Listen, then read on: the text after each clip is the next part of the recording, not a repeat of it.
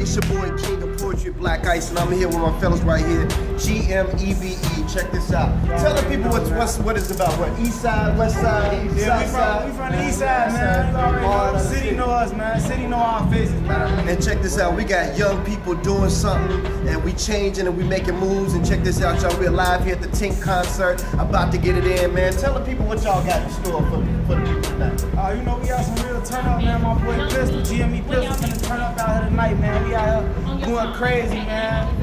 Finna turn up, man. Real turn up. Search GMEB, man. G M E B E. That's the Global move. Money Eastbound Entertainment, man. Global Money Eastbound Entertainment, y'all. It's your boy King of Poetry, Blaq Ice. We out.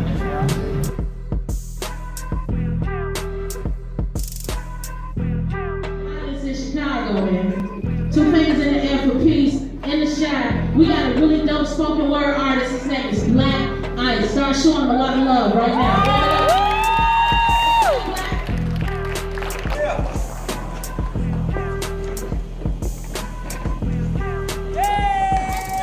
Chicago, make some noise.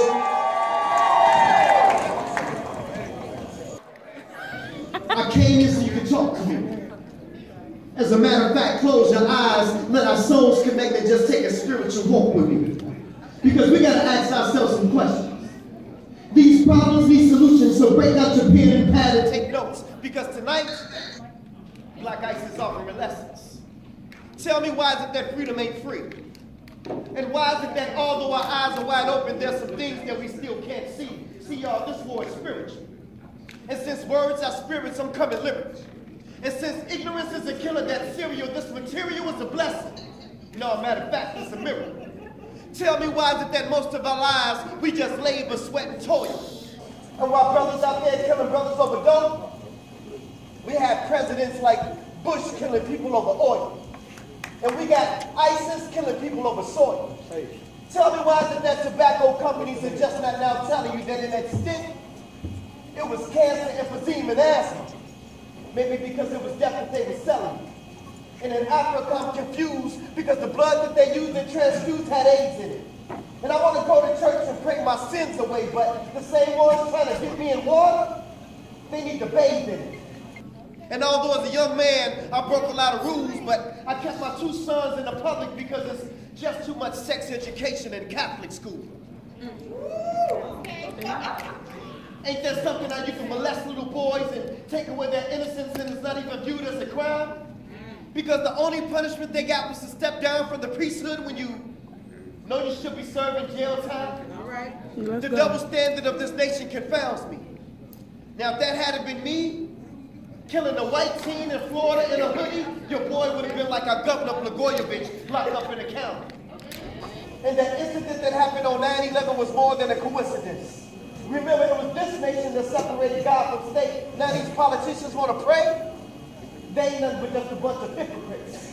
And how can you justify killing an unarmed black man who told you more than 11 times that he couldn't breathe, or a man with his hands up and no guns? And since we paying these police officers with our tax dollars, seems like we just paying some of these cops just to kill our sons. And who would have thought that going to church on a Wednesday night Bible class, that the person sitting next to you could hurt you? But in South Carolina, this white supremacist killed nine black people. I guess it's safe to say that the devil goes to church too. And Bill Cosby, why is it that after 12 years, all of these women can bring him up on charges of rape? But in Chicago, my city, you can't seem to convict these punk ass police cops caught killing our kids on videotape. In my conclusion, let me tell y'all a story. See, one day, truth and a lie were swimming together. Y'all didn't hear me. Mm. I said one day, truth and a lie were swimming together. And when lie saw truth in the water naked, lie would have put on truth's clothing and said bye. Mm. And now y'all know what we got? Brothers and sisters, what we got is the naked truth, and he's trying to catch up with the well-dressed lie. But we want to thank y'all for coming out tonight to I Am Chicago, and there's only one thing left for me to say. Brothers and sisters, it's not a shame to be ignorant. It's just a goddamn shame to stay that way. Mm-hmm.